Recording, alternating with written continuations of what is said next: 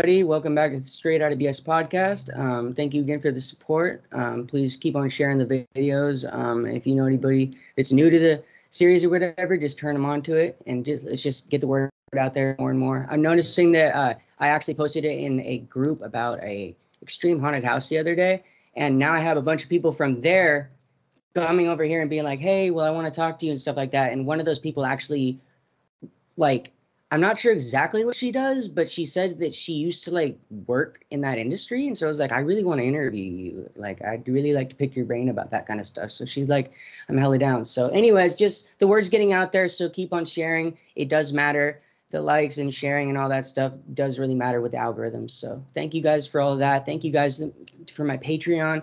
Thank you all of you from my, the bottom of my heart. I really appreciate that more than you know. And uh, yeah, pretty much uh, I want to do a moment of silence for the people still struggling with like addiction or anything like that. So on the count of three, I'm going to do a moment of silence. One, two, three. Okay, thank you for that. And without further ado, I want to go ahead and introduce my guest for the day. Go ahead and introduce yourself and where you went and what years. Um, I'm Zoe Schreiber. I went to um, a few programs. I started out with Second Nature Utah in 2004, 20 years this year. Um, then went to Mission Mountain School in Condon, Montana.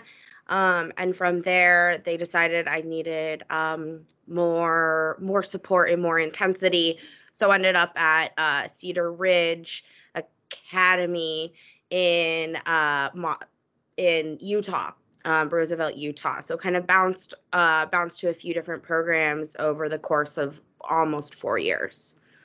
Okay. And uh, can you walk us through like what was going on like before? What led up to like you going there? Do you know exactly why you got sent there? Uh, what led up to it? Yeah. So the year before um, I had got sent away, so I was 13, uh, had my 14th birthday in Wilderness.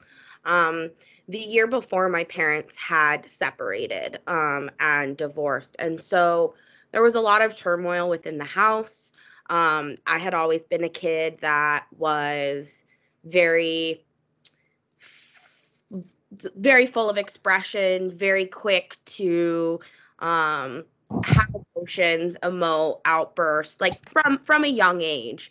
Um, and I think it got to the point where my family, especially my dad, felt like there was nothing he could do, um, especially within creating a new um, kind of family and life for himself. And so, out of desperation, um, I, I do genuinely think my parents were at a point of complete desperation, they were introduced to an educational consultant um, who was huge in bringing them into basically making them buy on to the concept of, of sending your kid away, of how much it would benefit.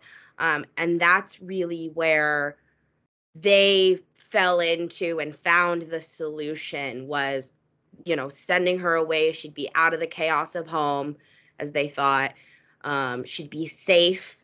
Nothing would be able to hurt her, and she'd be having therapy and things to learn. So that was a lot of their mindset. Um, and there was just a lot of chaos. I had been was about to be expelled from my middle school. Like there were just a lot of things that had they not intervened, home life would have been more difficult. Um, and I do think that there was a lot of chaos there and something needed to be done in my life. Um, I just think they found the recommendations from the wrong place in the form of an educational consultant. Okay.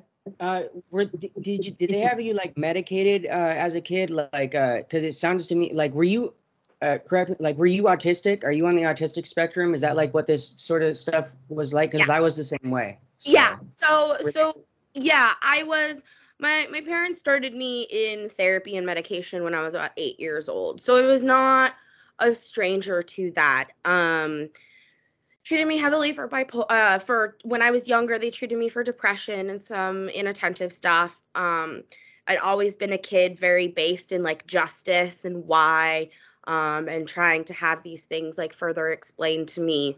Um And then when I went to program, they diagnosed me with basically bipolar. Um, just before you're 18, it's a different diagnosis, and started me on other meds. And so yeah, I was always very my my parents therapy meds, all of that stuff wasn't new. Um, I also have an uncle who's severely autistic. Um, like he he lives with someone he's high high very high needs and so that very much in my family was that's what being autistic is there is no spectrum there is no other things are being there. And as a woman as the oldest daughter there's a lot of masking i learned especially being a very like justice oriented person. Um but yeah, that's as I've gotten older and my sister and I have have you know looked into it and then also just talking with um with some of my healthcare providers is yeah, this is a very strong misdiagnosis and mistreatment um of something just because we didn't quite know or attribute a lot of that to girls especially. So yeah, it was definitely like ther- therapized and all of that stuff before. So that was in their mind was where they where they thought they could get help from. Okay. Okay. Yeah. I was yeah. just wondering if it was like undiagnosed or or if it was possibly undiagnosed or something like that. But yeah, un- it basically undiagnosed autism at that point. And I and I uh yeah yeah. So okay okay. Uh, were you transported or what? What happened there? Did you no, I wasn't. Um, I am very fortunate that the dynamics between my parents, um, my father had a lot of control um, because he was wealthy. We were private, private funded, uh, all private funded placement. My mother was more kind of at the mercy. She was, they were going through a divorce. But one thing my mom refused on was having me be transported. That was, my mom was like, absolutely not. Um, and basically, the deal was she would transport me herself and would be ready to call the cops whenever. Um, and I trust, like, my mom, like, literally was like, she's like, please, like, stay with me, like, stay calm, like, let's do this this way, let's do it in a way that you feel safe. Um, I don't know what the fuck was ahead of me, but at yeah. least I didn't have that experience. And to this day, I very much appreciate and thank my mom. And anytime my mom hears stories, it just it brings her to tears because she just that that was the one thing that she just could not could not stand for. So so so had you guys had like um like any conversations about like where you were going prior? Because like the only reason I ask is because you you you were talking about how like she was trying to make it as comfortable as she could for you. So yeah, so I knew I was going to be placed. Um at that point we were looking at different um different options including some more community based um not therapeutic but more just like boarding school with support, wraparound support, um, about an hour away from me. And that was what I had thought I, we were getting into. And that me going to Utah was just a little break, reorienting, like having some time. Was very much sold to me as that. Um, the educational consultant ended up calling me like while we were on our way. It was very, very weird. Um, but yeah, I was told, and I was told it was going to be, you know, it'll be gone for six weeks. It was closer to 12. Um, and then I was basically told it'd be, you know, maybe six months. Um, and that I'd be coming home and doing more closer to home. So at that point, for me, that seemed fine, right? I yeah. didn't want to be around my stepmother and my father at that point. So there was a willingness to get out and leave and and be okay with that and i think that's um something that i that i, I think a lot of that was my mom for that okay okay Um, so do you do you know or do you remember uh like roughly maybe how much your parents paid for like the fir- were paying for the first place? Because you said your private placement. Do you remember how much they were charging? So, um, wilderness, I can't remember how much wilderness was, but um, my final placement, Cedar Ridge, was eight grand a month, I want to say. Um, and Really expensive. really expensive. I mean, like my dad like tries to be like, "Oh, we spent this and this," and I'm like, "I don't care." Like, but yes, very expensive. Um, and yeah, like I would say my treatments all treatment altogether, placements altogether were over a quarter million dollars. Okay. So, So- the- oh, go ahead. Oh no, I just like that was um I also had grandparents who contributed. Like it very much was the feeling of we don't have any other options. So this is going to make everything better. Okay. So the first place you went was it a wilderness place? Yes. Yeah. So Second Nature um was in uh Duchesne um in in Utah. Um very very cold, high high desert. Um and just as uh you know Mel, but as Mel says, people don't even keep their horses out there during the winter and yet the kids are sent out to wilderness there. So uh yeah. okay. was- Yeah, it was about 12 weeks. Okay. there. Do you do you remember like on average like uh how many people were there when you got there and how many people were there when you left? My Just, like, group, yeah, so I was it was only our group, our one group. I would say that it was about 12 of us.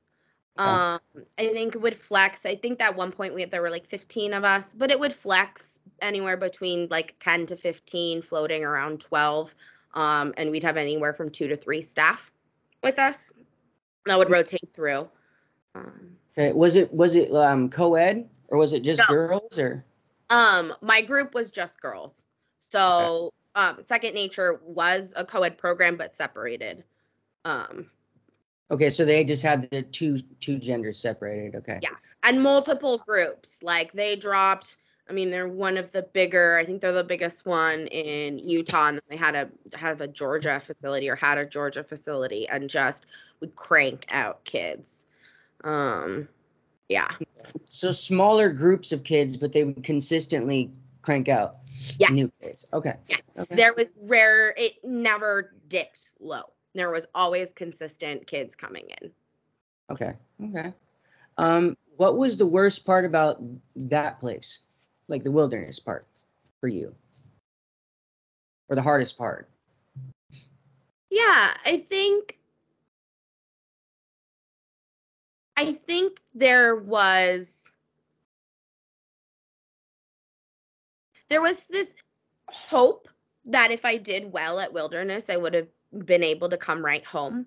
So there was a part of me that was still very much um trying to to move forward, trying to prove I could come back home, trying to prove I could just come back to my mom's. Um, and at one point, my educational consultant came um, out there to meet with us. And it was at that point it really like dawned on me like, this isn't the last stop. Um, and very much she started talking about you know, ongoing relationship and making sure like where I go next is fine. Um, and and I think at that point it was very I felt like abandoned in the wilderness. Like here you go. We've just plopped you out in the middle of nowhere while we figure out what goes next. And what I found out why I was there for so long was the program that I my parents initially wanted me to go to required more like medical testing and all sorts of stuff. So literally because they were looking for somewhere my stay was extended. So Okay. Yeah. Interesting. They I wonder what kind of medical stuff they were. So, um, I they made me do um a gynecological exam before um I was able to be admitted, and it was horrible. Um, small town doctors are have no sympathy, and um, being brought in with staff like that, um, you know, there was excitement, like, yeah, I got to shower, but um, no, Yeah. it was it was it was that they they wanted to, you know, I had had sex, so it had to make sure I was not wrong or dirty or anything like that. Yeah, they had to do the whole invasive thing. Very Uh, much.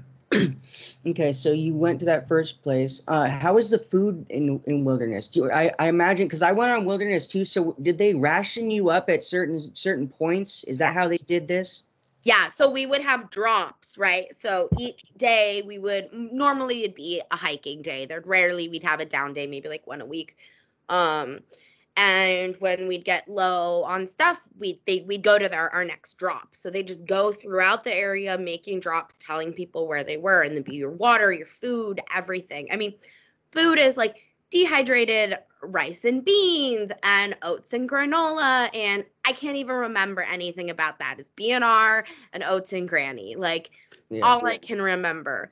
Um and our water and what would happen and, and one thing I distinctly remember is no matter what, we would have to make it to that point. And there was one time where we were going so late, someone had had um someone was having a really hard time, like reasonably so. Um and our next drop point was pretty far away and on a really dangerous hike. And we were, you know, with our huge packs on, scaling up against the wall, like face up against a rock cliff with nothing behind us. Pitch black in the middle of the night because we needed to get our next set of water and rations. So, um, it very much was that. And if we hadn't um, busted our own fire, created our own fire, we wouldn't have hot food.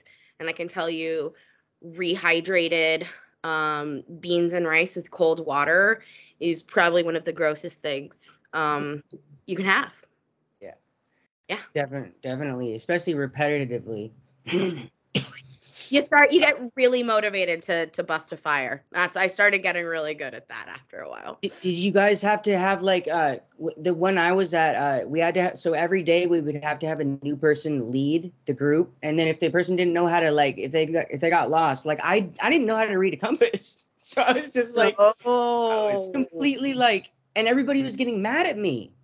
They were getting hella pissed at me because like if you you either know how to do it or you don't, and if you don't know how to do it, then you you you should have learned how to do it or somebody should teach you. But I was never the popular person, so never, nobody wanted to help me with anything. So it was No. just Yeah, it was always staff led. Um and yeah, we never we never were in charge of getting ourselves around. I mean, everything looks the same. I don't know if anybody could. Like I, for them. They were like it's a leadership thing because they're trying to make you learn like leadership qualities and like learn how to lead a group and stuff. And it's like I don't need this. like this is I not obviously don't know how to do it. Like it looks. Yeah.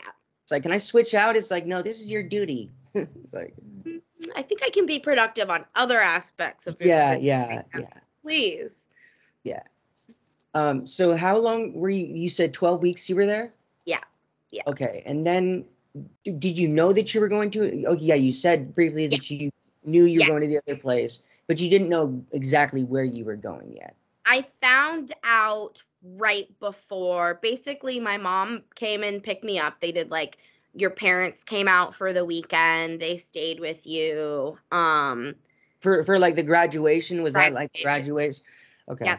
Yeah, my mom's like, Okay. "Oh my gosh, I wish we never did that because then I saw how horrible it was for you and your hands were like brown like soup like I couldn't get like my hands were dirt stained for ages.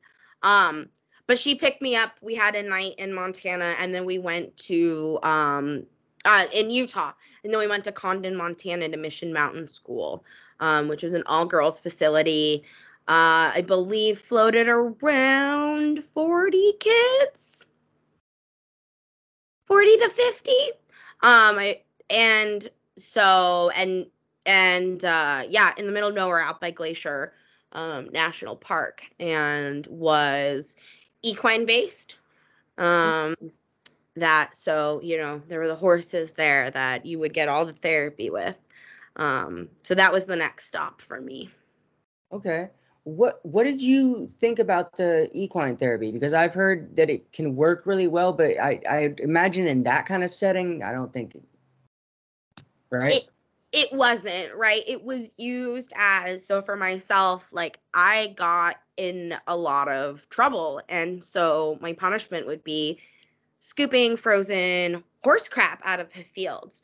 So this concept that we were having like equine therapy was a nuance and missed, right? It mm. was basically horses were there.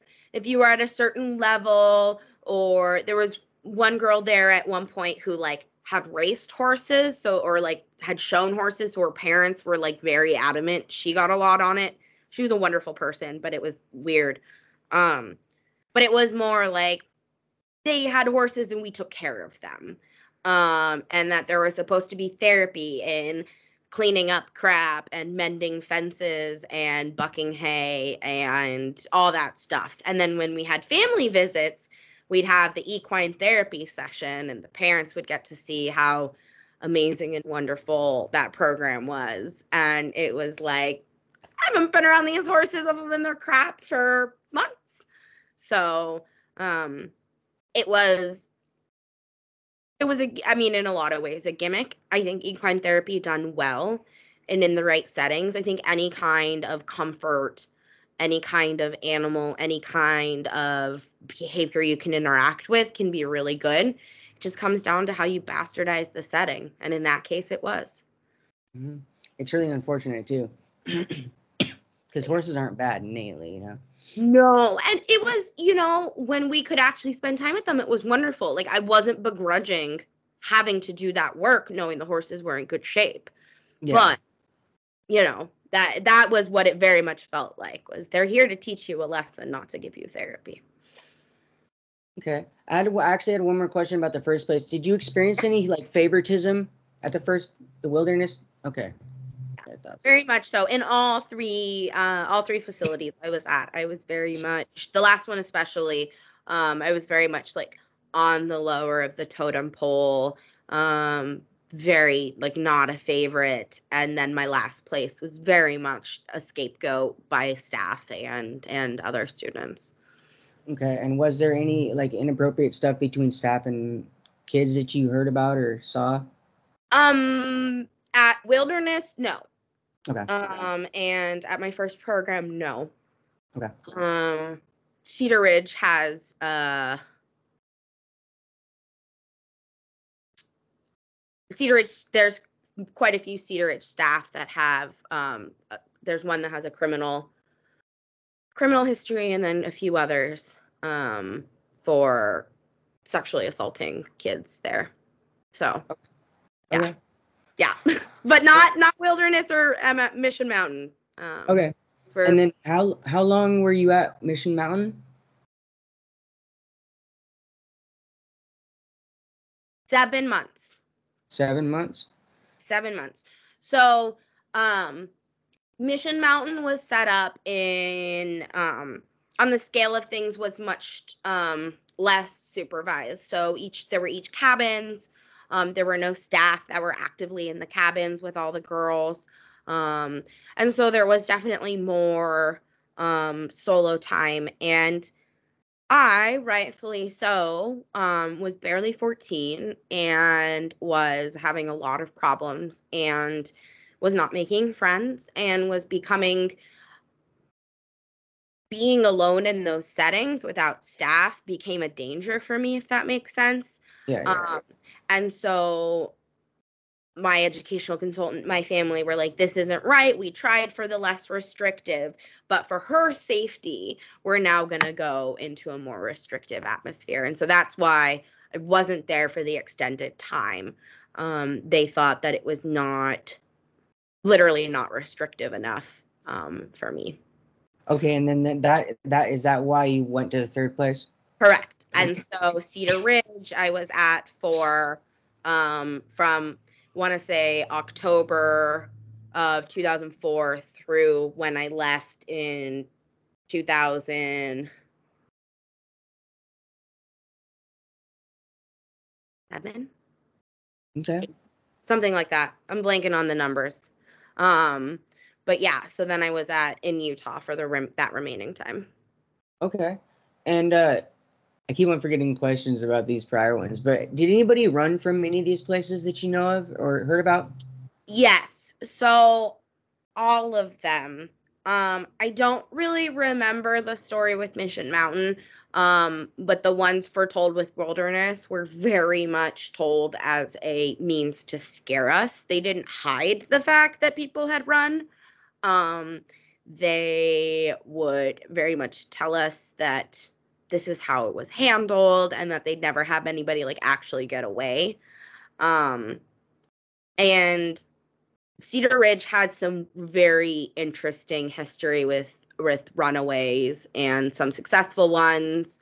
Um, there was a death that occurred for someone who was off-site runaway arguably. Um, she was trying to get away from the program and she died in a car accident. So um, yeah lot, lots of them. There was a, a trio of guys that successfully um, made it out and into town and i'm dear friends with two of them still.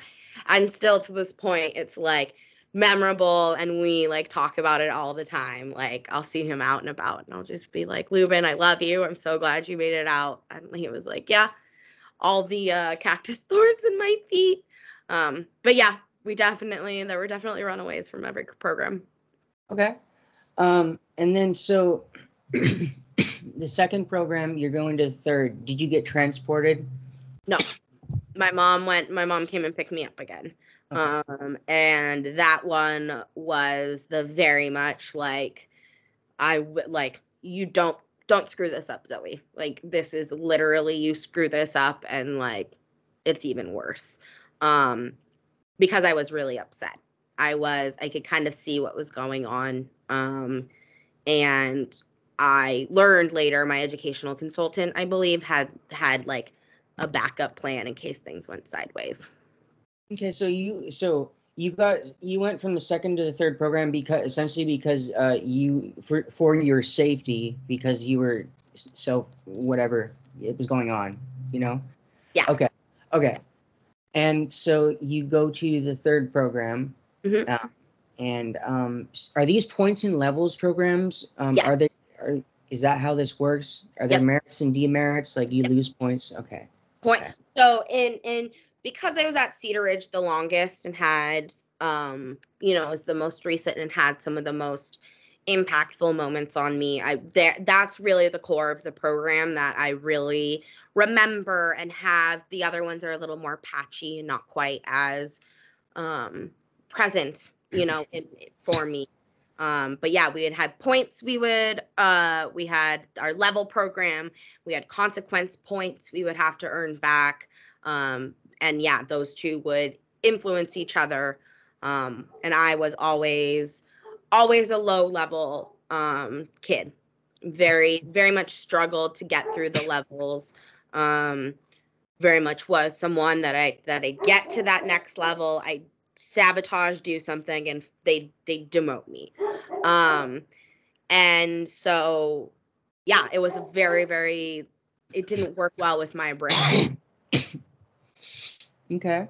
What do you think the hardest part about being there was for you, and how did you handle it?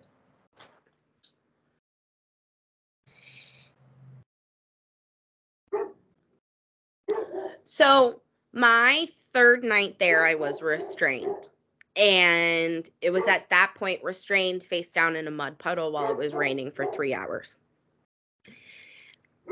because i didn't eat a pack of butter um and it was at that point that i realized hey close this. I'm sorry for the dog. Um it was at that point i really realized that i'm stuck i'm hopeless and i can't do anything about this. Um and i went into complete just i checked out. I didn't do anything. I didn't want to engage.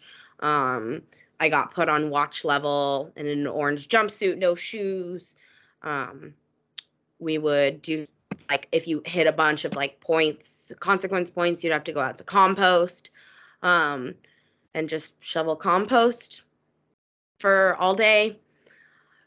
So very quickly there I I got the memo. I got what safer for me meant. It meant more oppressive, more control, less choice. I went from a program that we were kids in each of these cabins didn't have adults to each of these homes were very much monitored two night staff at night i ended up um, on my watch level sleeping on the floor next to night staff so very much a, a jump um, in in secure security and being uh, just on top of things. And so very much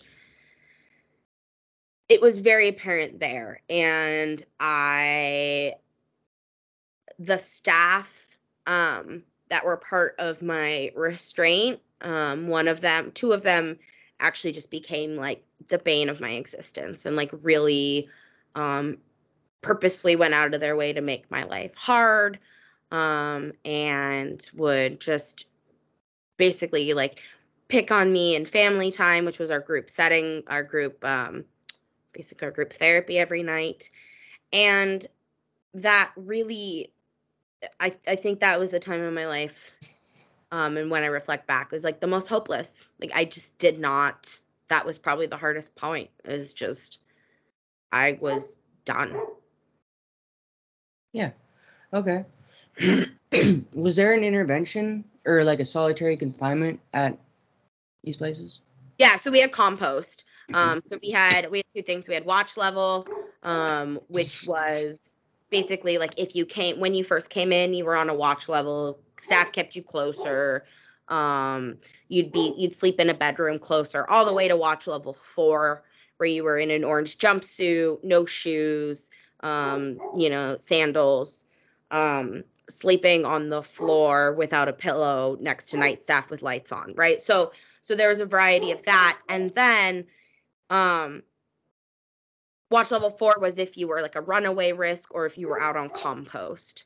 Um, and so then our kind of when I was there, the main thing they used for like solitary was taking us out to compost, um, where we would just shovel compost from one pile to another, 50 scoops at a time, um, and just excessively asking for um, staff feedback being fed just horrible food. Uh, so that was how they handled um, like solitude time away from the group, punishment time.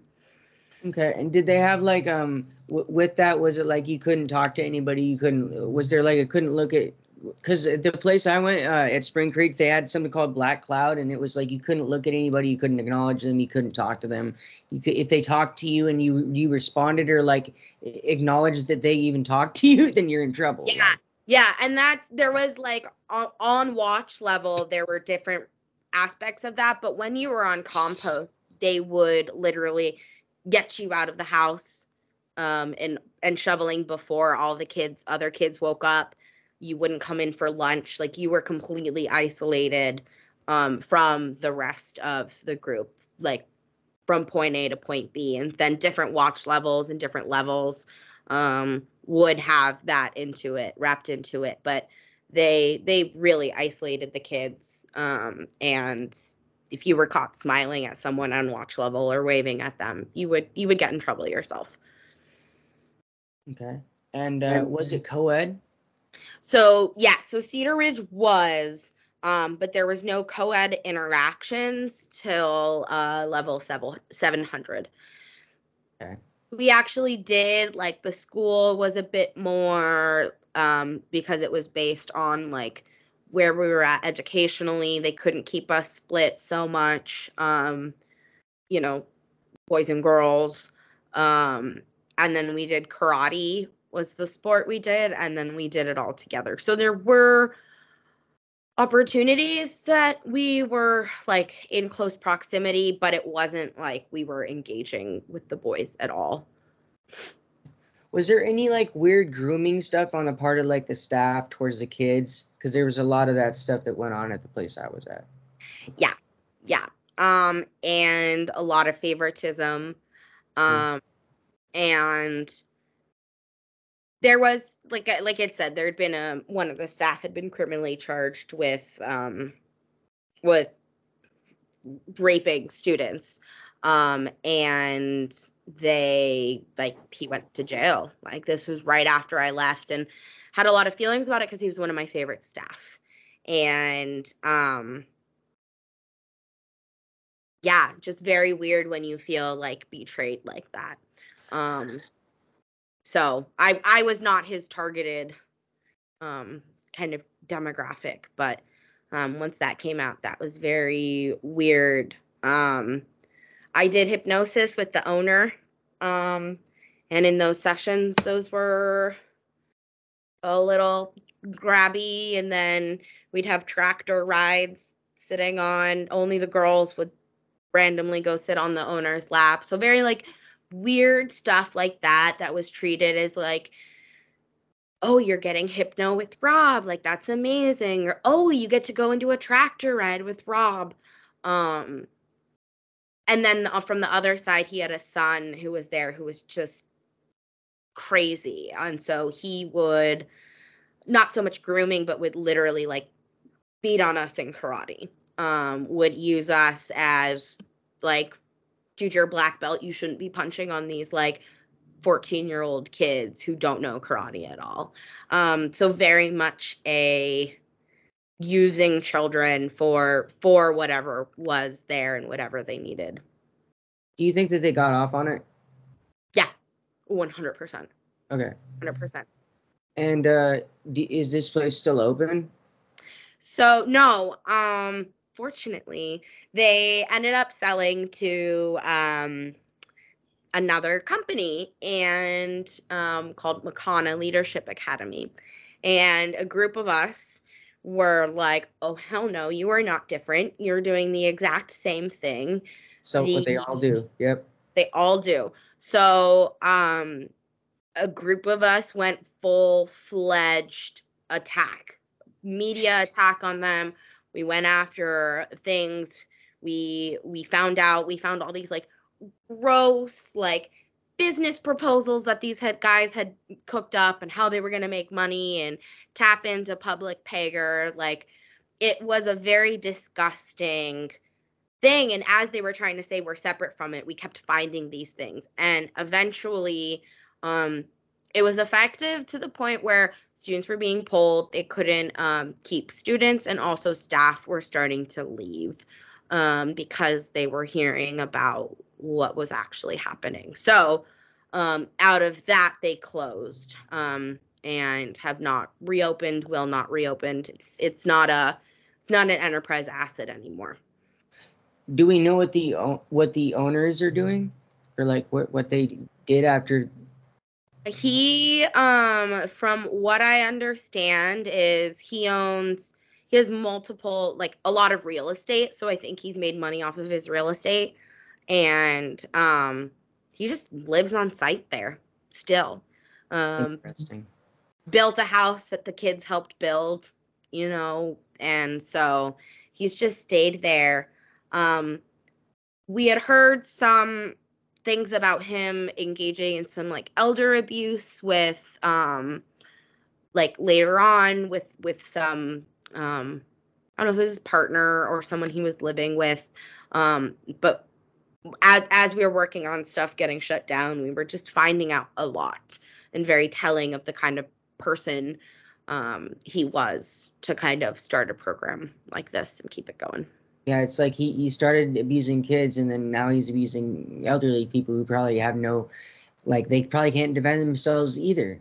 Yeah. A lot of elderly people can't. No. Um, and uh, okay, then let's see. How is the food at there?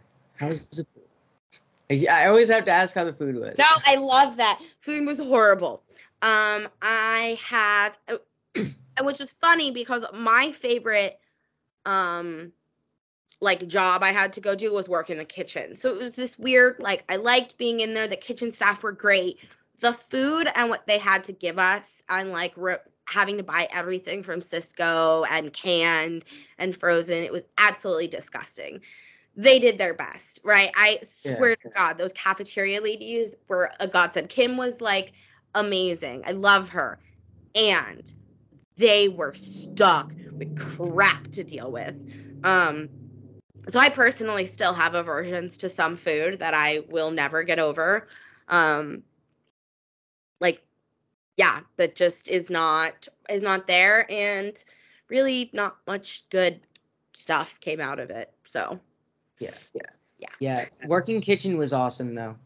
I always loved working kitchen, and then and then you could eat as much of the food as you wanted too. Like you know, you're like, okay, I'm gonna take a little bit of this. I don't have to take yeah. any more of the rest. Not gonna get in trouble. Yeah, I like. I really like doing dishes because hmm. so autistic of me because I liked being quiet and alone and the sensation of the water, like total yeah. like like I was in heaven on that. And I learned to bust it out. So like there was if I wanted dishes, I would be on dishes. And it totally yeah. just was a meditative like moment alone because you'd never get that. Yeah, yeah, and you're just focusing on a repetitive task, you know. Mm-hmm. Yep, it's, it's really good. Yep. Okay, um, what was like uh like some you talked about the kitchen, like what was some other ways like you just would uh just like escape like where you were like in your head? Like so, were you able to read books or anything like that? No, no. So book books were a privilege, mu- music was a privilege. Um there was they had animal care and um before so at cedar ridge they had llamas alpacas they had a bull, bunch of different birds, goats. Uh, there was a pig at one point that we ate later. Um, but because there was birds, I very much um, I was into birds as a kid and still am. I have um, 13 parrots and 10 chickens outside. I worked awesome. at a bird store. Like that was like my soul. And so one thing that they they recognized that and they were like, "Oh, someone can like will dedicate this kid to the birds. Like she will do it." So I ended up one year um, raising 50 turkeys and 100 chicks um, just helping like and so that was that was my reward. Like they let me do more work and spend time with the birds. Um, and that was really cool because I also was finishing school tasks so quickly um, that they had to slow me down. Um, I graduated high school a year early just because I was churning through things. So basically their their give off was well you can go hang out with the birds and raise them and do that so that was a really that was really cool um and there was one staff catherine who would always I I reflecting back on it now, she would always volunteer to take me and she was one of the kindest people, the most kindest wonderful people and I think she left right before I left because I think it became untenable for her, but it was she helped with some silence, with some safety, with really letting me have that moment without having to do checkbacks all the time. Like she just let me be there with the birds. Um, so that was very, very special. Um, to, to have a staff that really saw that and and brought that out for me. That's cool. I'm glad that you had that. Did uh just the one? yeah, yeah. Did the credits transfer? Um, so I hadn't gone. Um, I basically left middle school, left midway through eighth grade, and went through and finished all of high school. Um, and applied for colleges while I was there. Um, and yeah, all of I was accepted into um, I was accepted into Mills, I was accepted into Berkeley, Davis, Santa Cruz. So I was like accepted into some good schools.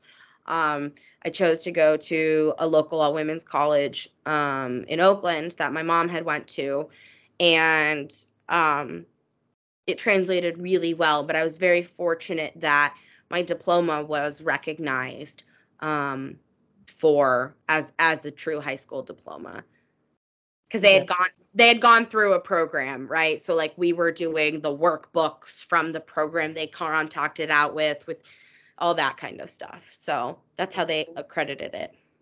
Okay. Um did they get when you first got there did they give you like a rule manual or like uh just like this is what you're supposed to do this is like the rule like did they go over any of that with you? Did they buddy you up with somebody to like show you the ropes? Did they do any of that? So they i they gave us like some manuals they gave us some stuff i from my perspective um like it was day two or day three i got restrained and I think it was very telling of a miscommunication of expectations um, and really not showing, right? Like, you have to eat all your food. Fine. My butter, my little extra butter pad is considered food, right? Clarify, you have to eat everything you take. Um, so I think that while they tried doing it, um, it didn't wasn't effective. And then no, they didn't they didn't buddy us up. And by the time like i had gone on isolation watch level four um it was kind of like here's rough learning. We're not you don't get to learn from the handbook anymore. Okay and did they have like these self-help improve self-improvement seminars that, that the place I did okay so did they have the same ones that, that we had did they have orientation discovery focus no, they weren't as um Spring Creek's Wasp, right? Yeah. So so um we Rob came out of Cross Creek and so which is like earlier Wasp. And so yeah. They um very similar but not the same names. Um but okay. but very much those same concepts, that same structure um of you know, it was the owner or another one of the talking heads coming and doing a set. They, we called them seminars. Um, and yeah. Okay. Did they did they have you make an I am statement like I am I'm an empathetic, loving, handsome, and powerful man? So we stuff like that. Yeah. So we had um we had like trigger sheets we'd fill out every day and at the end of them um, we had a like a statement that was basically like that so like you'd have to reflect on the whole process and then define like a statement for yourself and that's what you would go through during group so yeah that very much like bringing it back and trying to i think it was a very identifying our basically creating our tying our identities to our behavior in a means to break us down. Do you feel like any of that the, the the seminars that you went through or any of the programs or any of that do you feel like any of it was beneficial to you? Did you get any positive things out of the program at all?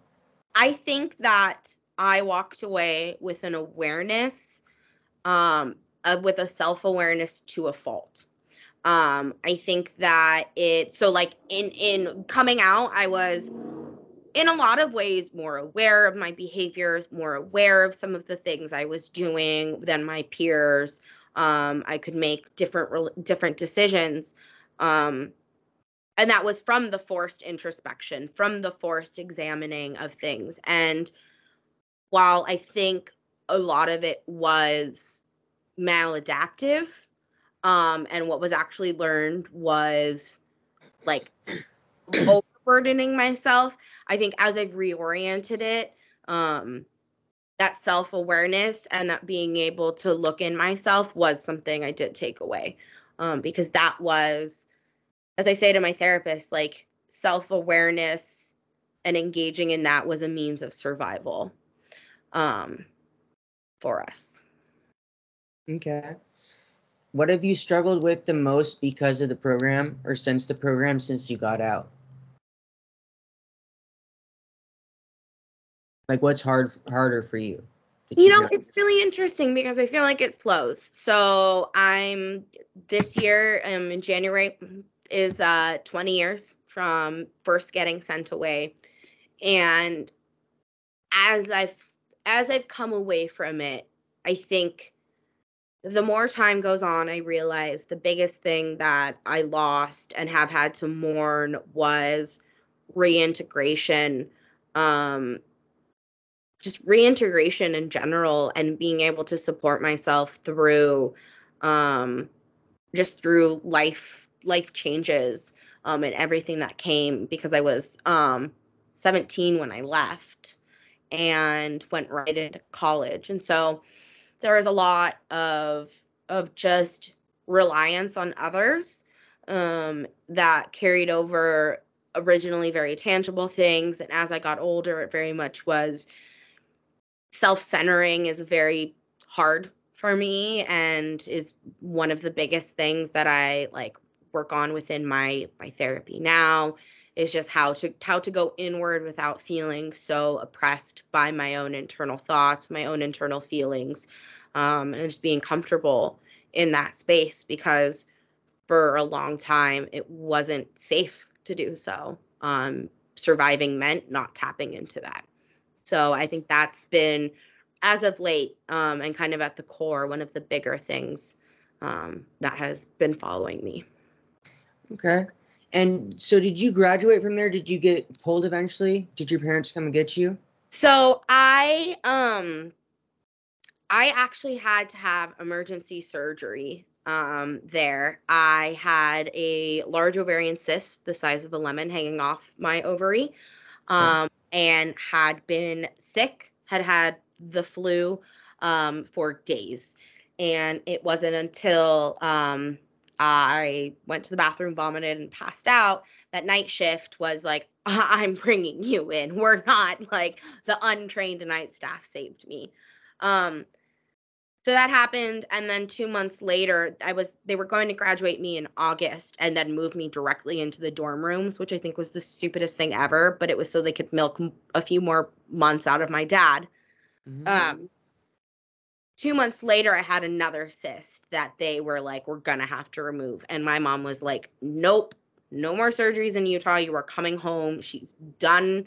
She yeah. I, i'd been finished with all my high school stuff. They literally were just keeping me there.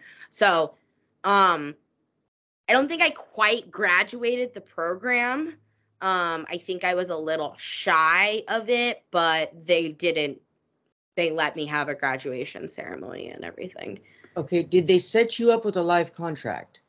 Yes. Oh yeah. Okay. Oh yeah, totally. Totally. I was very curious about that. How yep. long did that last?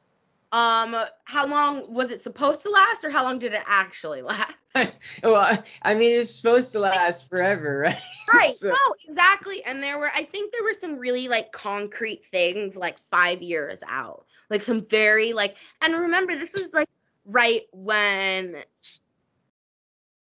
like this is right when like Facebook and MySpace are like really getting established, right? And so there's just little things that I reflect. It was like I wouldn't go online, I wouldn't do these things, I wouldn't engage with this, I wouldn't like I went said like I wouldn't talk to like people I wanted to have like sex with. There were just very weird things that I that I like reflect back on. I'm like, that was some serious brainwashing. Yeah. And like the fact that like my parents, my therapist, like everybody got together and was like, yeah, this is the best thing for a girl who's going off to college, right? I, I, yeah, I don't understand. I've never understood the justification of that. And it went right out the window very, very quickly. Like I didn't even, my dad tried to have, my dad tried to hold on to it longer than anybody else. So. Okay. Um, have you talked to your parents about how it felt being at these places? Uh, and where I'm where I, with my parents is I've forgiven them, but I'm not gonna forget what they did, you know, and like what happened. So, like, where are you uh, with your parents? So I, my mom is amazing. My mom was in in terms of like all the power dynamics, right? My mom was the one who was she was the woman who didn't have money, who didn't work, who she she was very much powerless um, and a lot of decisions were made um, without too much of her input. So, um, and with that, they very much like they said I was codependent with my mom because my mom would like understand and worry about me and voice concerns about the program. Um, so I always had an advocate in my mom. Um, and it only once I left and talked to her more about it did I know quite the extent of it. Um, they did programs did a really good job of keeping us isolated and keeping my mom from being able to just like support me. Um, my dad, I will never get um a like true. My dad's autistic. I will never, I will never get a true "I'm sorry" out of him. Um, but more and more I get talking things through. My he's an attorney so we'll talk about you know the legal stuff side of it. And and i know my dad enough that that's him going through it right? And and recognizing like i made a mistake i want to help you through it. I know i will never get and i'm sorry from him. And so for myself like my relationship with my dad's very different for a variety of reasons but that's a part of it. Um but i still talk to them they're still in my life um my mom more so than my dad but Okay. Um, if you could go in a time machine, if you could go back in time in a time machine and not go through these places, would you do it and why? Yes. Um I definitely think that it brought more more stress and trauma into my life than it really would. I will say though that I think had my parents been able to navigate and work out something of more community based placement for me, being close to home, I think I really would have thrived. Um, I will openly admit that, and my parents will too, um, and my mom takes accountability, home was not a stable place home was I needed more support than what I was getting. And I think it very much calls out, and, and it's not lost on me that we still are struggling with this. There are going to be instances and places and homes that kids shouldn't be in or need more support of, but the but the other solution shouldn't just be sending them away. So while I would take it away, I would also, with that, would want to find that what that other support that they had originally been looking at would look like because I, I i i wouldn't have done well through the chaos with my mom with my dad and my stepmother Okay. you said you were on hella medications growing up and stuff like that. Um, I know that you smoke marijuana. Um, how much does marijuana help you with the symptoms of your autism? Uh, like for me, I don't I don't really take any prescription medication. I just smoke weed. So like how is it with you? Like how have you found? so i um so just medication wise i i went off meds for a little bit in college completely and realized for myself i was like yeah been on them for 20 years like it's time to figure it out realized that was not good for me i um i personally do well on you know give me a little bit of ssris um, I do well with um, an anti epileptic for a mood stabilizer. I'm now epileptic, so that's a whole different story. Um, but what cannabis has really helped me for is I was dealing with a lot of night terrors, an inability to sleep, and stomach problems when I first got out. And my my mom was a medical patient um, here in California, and so access was created quite quickly as an adult right after I came out because it was there. Um, and with that, I was able to stop taking um, trazodone, which made me feel horrible at night. I was able to really minimize the benzodiazepines I had to take. Um, I went off of a bunch of antispasmodic drugs for my stomach um, and really helped with some of my migraine symptoms. And so it's not lost on me that one of the things I agreed to not do in my home contract was one of the best things that has been for my life to the point where this is my my career. Like I very much I I, I work in cannabis for making sure like regulations are met so that people are safe. Um, and because it's helped me so much, because it's really been a source for me. And I'm also someone who, after time off of psych meds, realized I like them too, and the world likes me better with them. So it's that it's a good middle ground that I found for myself, and I feel like it's a journey for everybody. Like had I not gone screw it, you guys were wrong for me, like and not experienced that, not been like, yeah, I've been on meds since I was 8. I would never be able to say with with my full like intention that I'm making this choice going off was a very strong choice for me and cannabis was a really a really good um, tool to go alongside that Okay. and uh, if you could, um, knowing what you know now about these places, is it your belief that they should like uh, should or even could be fully regulated now, or is it your belief that they they should all just be shut down? Because I, yeah, I feel My- like there is sort of a need for something, but so here's here's my here's my uh view and this this comes out of working 10 years in watching regulation be you know created. Um regulation isn't going to solve the problems. Regulation is going to create structures that things can be carried out. Good regulations with funding for enforcement is great good regulations, funding for enforcement with public support and showing things, that's where you get your closures done. Um, and and that is, I think, the yes, these programs have to close. And at the same time, we can't ignore that it's hard to be a teenager in this world. yeah, Holy cow, I couldn't imagine being a teenager now. And yeah. so, where is that balance? How do we address the need that, like for myself, I I would not have done well in the home over Yeah. those years. Um, and so, what what does that look like? And in California, um, we actually no state money. Um, they don't send any money outside the state. Any placements are done in state now. Um, that was after Cornelius Fred Fredericks, I think Fred- is yeah, yeah. Yeah. after Cornelius um, passed, and the programs in California have really strict oversight too. Um, some of them more stricter. Now, are they perfect? No. Do I know people who work in some of the residential homes here in California? Yes. Are they good people who have been background checked and fingerprinted and everything? Yes. So, those kind of things that we don't see without regulation has implications. Um, and I also think that when you have an industry or a something that has regulations and you don't, that has strength in in public opinion. yeah, And that is where, like for us, for Cedar Ridge, is regulations didn't close them down, but the, we that was a threat there.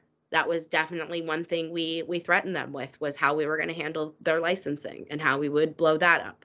So I think it's twofold and creating resources for kids um, where they are is critical. Okay. Yeah. Well, is there anything else you want people to know about your experience or anything you might tell a parent thinking about sending their kid to a place like this? Don't talk to an educational consultant. Um, they are they're they're uh, more of the thing of the past now. They were very uh, popular in my era, but um, it basically is like the MLM of the TTI and like making money and referrals. Um, someone who's so eager to help and find your placements is getting a kickback somewhere. Um, and that is where my parents really fell into a trap and felt like they were trusted and making the right decisions. So, um, adults are manipulated. Adults are manipulated, and until they recognize that that's part of their role in it, is not um, not seeing through that. We're going to continue to have some of these placement problems. For sure, for sure. Well, thank you so much for coming on the show. And if you ever want to come on for part two for follow up, just let me know. And thank you guys uh, so much for watching so far in the video. If you watched so far, please uh, like the video, share it, and make sure you subscribe to the channel. And we will see you next week. See you guys next time. These wings smell like a cantaloupe. I can't even joke. Mine on a billy on my haters. They can choke. Take the green pill, cause I'm always puffing loud. Find me in the streets of West Seattle, yeah, I'm proud. Used to really do them things, used to really be about it. Till I had to lay my homie down in the casket. That shit was so tragic. Had to bounce back like it's magic. Yeah, my life been hella hectic. Don't you forget it. Better give me credit. If I said it, I meant it. Get them overtime credits. It can only be expected.